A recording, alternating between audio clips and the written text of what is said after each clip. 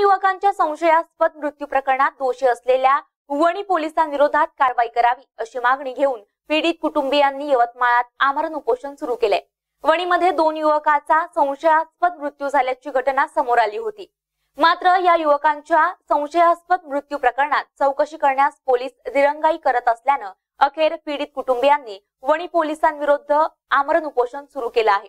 आणि दोषी पोलिसांवर कारवाईची मागणी लावून धरली आहे दरम्यान आमरण उपोषणास बसलेले स्वप्नील दुर्वे या युवकाची प्रकृती खालावली असल्यानं उपोषण चिघळण्याची शक्यता निर्माण झाली आहे.